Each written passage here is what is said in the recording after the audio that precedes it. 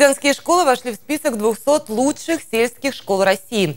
Это Багаевская школа номер два, Игрылыкская номер один и Орловская номер три. Здравствуйте, в студии Анна Туполева. Повестка дня на Дону. Молочный комплекс и распределительный центр. Итоги первого дня агровыставки «Золотая осень» на ВДНХ. Для экономики Ростовской области это достаточно важное событие, потому что в области объявлено, что развитие молочного животноводства является отраслью опережающего развития. Сошлись на Лермонтове. Победитель конкурса «Учитель года» ростовчанин Андрей Барашев вдохновил президента на чтение стихов. Но я люблю, за что не знаю сам, ее степей холодное молчание. Написал на Рейхстаге Никаноров из Ростова-на-Дону и все. История для нового музея на Самбекских высотах. Мы вышли и смотрим впереди так по улице. Белые флаги, белые простыни, белые наволочки в домах, в окнах.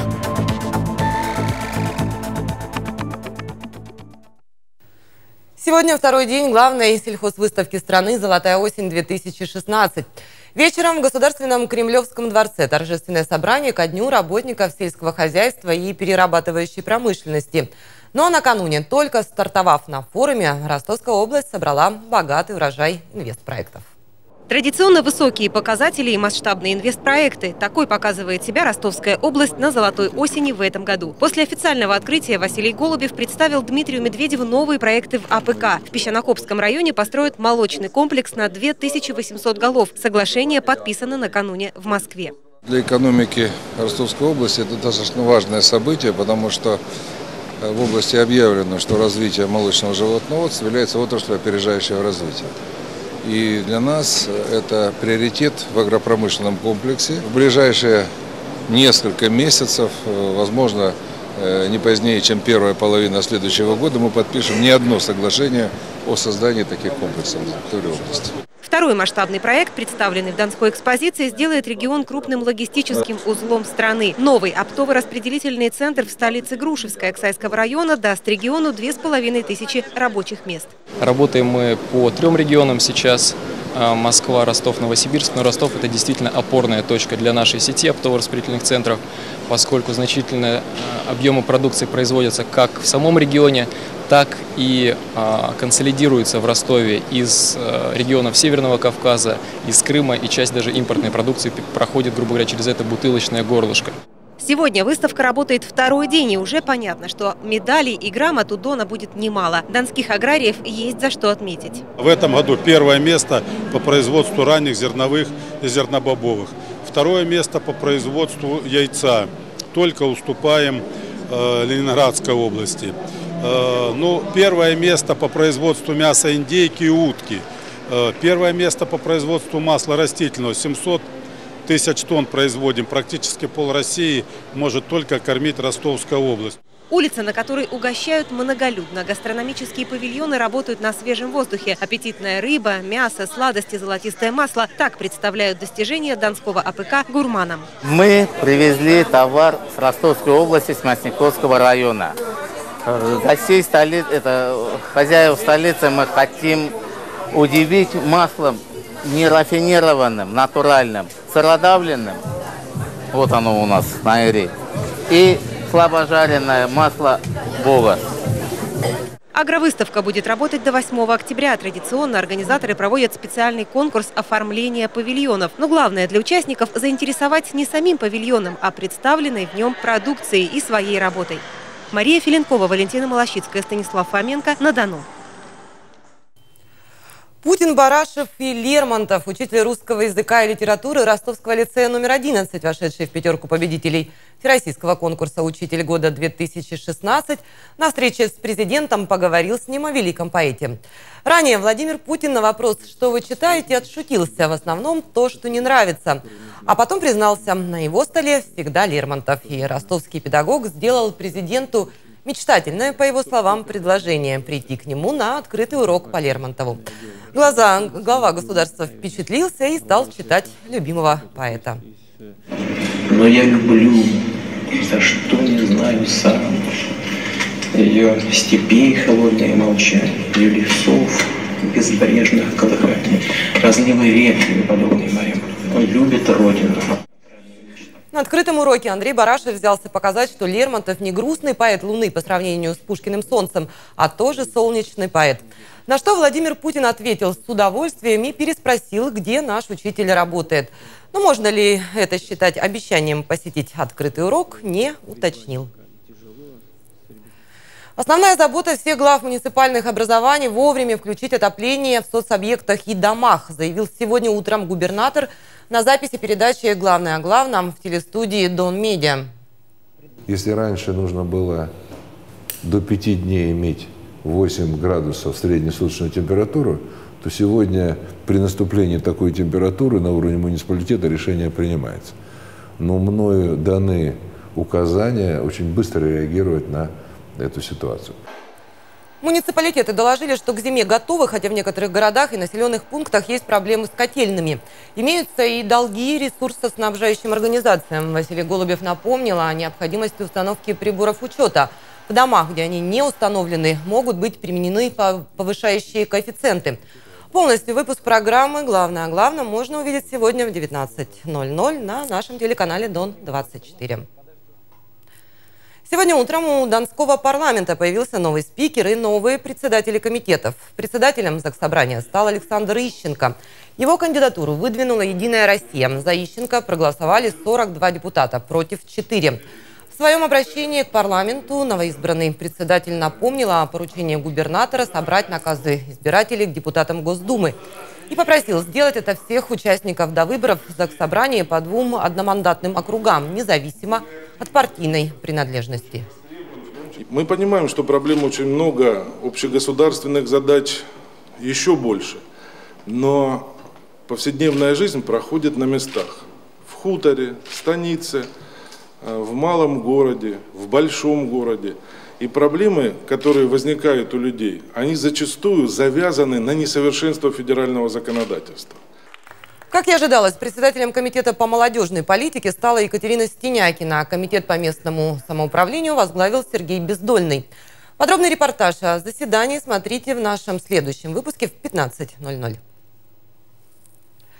В Ростовской области не растут съедобные грибы. Врачи и токсикологи просят жителей Дона об этом не забывать. В шахтах за последние 10 дней в городскую больницу скорой помощи с острым отравлением попали 11 человек, причем семеро из них с тяжелой степенью отравления.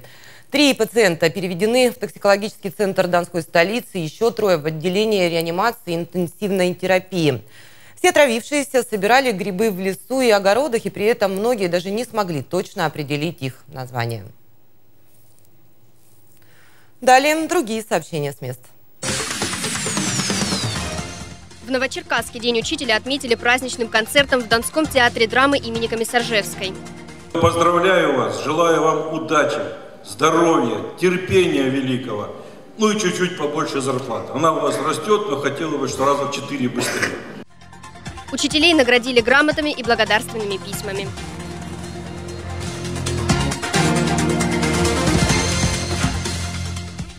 Воспитанники социально-реабилитационного центра «Аистенок» сходили на экскурсию в Волгодонский учебный центр противопожарной службы. Детям разрешили сесть за руль импровизированной пожарной машины, померить противогазы и экипировку. А самое интересное, юным пожарным удалось потушить пожар. Больше всего мне понравилось э, проходить через камеры. Ну, где там с дымом. Мне вот это больше всего понравилось. Мне больше понравилось э, дым, где можно лазить там. И еще мне понравилось дышать в маску.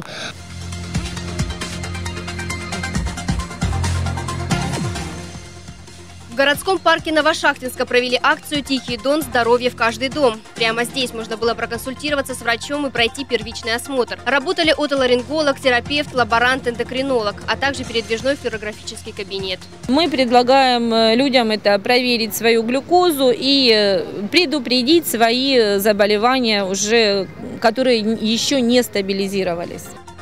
Желающим измеряли давление, рост, вес и рассказали, как правильно вести здоровый образ жизни. Человек прошел, обследовался, уже он будет знать, что к чему, как. Удобно, конечно. Это хорошо, да, это очень хорошо. Такую акцию в городе проводят каждый месяц. Регулярная она стала благодаря множеству участников. Будет и в конце октября, если повезет с погодой.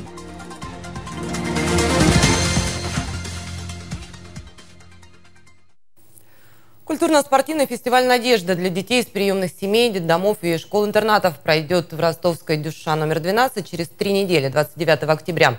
Организаторы вместе с олимпийскими и паралимпийскими чемпионками анонсировали праздник в пресс-центре «Дон Медиа». Уже 20 лет «Надежда» собирает в четырех городах – Москве, Питере, Новосибирске и Ростове – сирот и детей с ограниченными возможностями здоровья на игры, спортивные мастер-классы и викторины. Это нужный праздник. Он приносит очень много добра. Он детей, наверное, привлекает к здоровому образу жизни, отвлекает от улицы. Я приблизительно на таком же фестивале попала в спорт и пошла дальше э, по жизни со спортом. И дети знакомятся там, продвигаются как-то им становится лучше, приятнее, они не одни. Заниматься спортом детям с ограничениями по здоровью помогает программа «Доступная среда». Спорткомплексы оборудуют для инвалидов. В министерстве э, составлена дорожная карта по адаптации всех наших спортивных сооружений. Э, и согласно этой дорожной карте, я уже не буду перечислять там проценты, да, мы на 100% должны выйти к 2020 году на 100% обеспечения доступности всех наших спортивных сооружений. Для воспитанников детских домов и школ-интернатов на Дону ежегодно проводятся спартакиады с соревнованиями по мини-футболу, легкой атлетике, баскетболу и шахматам. Собрать деньги и построить большой музей на Самбекских высотах. Инициатива ветеранов и поисковых отрядов. Губернатор идею поддержал. Экспонатами нового музея Великой Отечественной станут и воспоминания свидетелей тех лет – Григорий Никаноров о начале войны узнал в ростовской библиотеке. Радиоприемник сообщил голосом Молотова. 15-летний парень побежал домой, крича «Война!», но в то, что действительно придется воевать, не верилось. Казалось, война будет где-то далеко и ненадолго. Воевать все-таки пришлось. В 43-м, после второго освобождения Ростова, уже 17-летний Гриша штурмовал военкомат и добился. На фронт его взяли. Через год рядовой пулеметчик получил первую медаль за отвагу, а вторую заслужил в уличных боях за латвийский город. Пулеметчики шли цепью на расстоянии 5 метров. Во время контратак противника ложились, и советские пушки-сорокопятки давили немецкий обстрел. Но мины все же долетали. Осколок с левой стороны ударил один вот эту руку, ногу, один сюда чиркнул осколок, вот этот маленький был шрамчик, а которые дальше меня были, метров за 10, за 12 от разрыва этой мины, их сильнее ранило. Была и третья, самая солдатская медаль за отвагу, как выжившему после зачистки немецких лесов. А закончилась война для Григория Никанорова 2 мая в Берлине. «Немцы сдаются», разбудил ранним утром крик сослуживца. Улица поразила непривычной тишиной и белизной. Мы вышли и смотрим впереди так по улице, белые флаги, белые простыни, белые наволочки в домах, в окнах. На стенах Рейхстага можно было, не вчитываясь в надпись, понять, кто писал. Танкисты оставляли память о себе мазутом, офицеры цветными карандашами, стрелки штыком выцарапывали имя и населенный пункт. Я написал Никаноров из Ростова-на-Дону. Все. Дальше места нету писать уже вся стена была почти исписана. А в официальный день Победы здесь же 19-летний парень выступил на митинге. Ему заготовили бумажку, но она не пригодилась. Говорил от сердца. Фашистскую гадину мы добили, теперь больше никогда не позволим фашистам э, возродиться. Такие истории и лягут в основу музея на Самбекских высотах. Найти информацию о нем и перечислить средства можно на сайте sambekmuseum.ru. Мария Филинкова, Олеся Слынько. На Дону. Это все новости к этому часу. Следующий выпуск смотрите в 15.00. Мы расскажем, в частности, о первом заседании Донского Заксобрания с новым председателем. В студии была Анна Туполева. До встречи. Одежда ведущим предоставлена магазином «Манго».